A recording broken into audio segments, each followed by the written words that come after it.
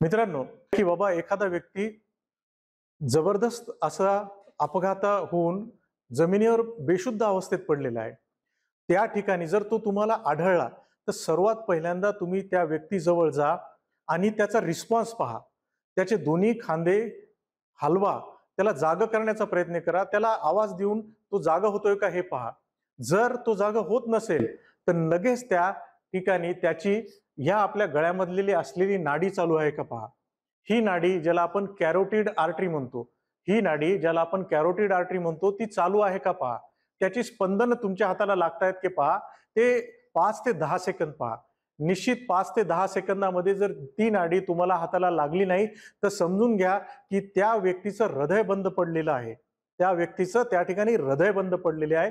ही अतिशय महत्वाची एमर्जन्सी आहे. तात्काळ आपल्या आजूबाजूला कोणी असेल तर त्या व्यक्तीला एकशे आठला कॉल करायला सांगा आणि लगेच त्या माणसाच्या हृदयाला पंपिंग चालू करण्यासाठी तुम्ही त्याच्या छातीच्या मधोमध आपले दोन्ही हात ठेवून त्या ठिकाणी कंप्रेशन देण्यास सुरुवात करा. हे कंप्रेशन तीस वेळेस देत जा आणि त्याच्या तोंडावर रुमाल ठेवून दोन वेळेस श्वास देण्याचा प्रयत्न करा मित्रांनो. जोपर्यंत जोपर्यंत ॲम्ब्युलन्स येत नाही किंवा जोपर्यंत कुठलीही व्यक्ती दुसरा एखादी मदतनीस घेऊन येत नाही तोपर्यंत या ठिकाणी तुम्ही त्या व्यक्तीच्या हृदयाला पंपिंग करणं आवश्यक आहे ज्यालाच आपण सी पी आर म्हणतो. त्यालाच आपण कार्डिओ पल्मोनरी रिससिटेशन म्हणतो.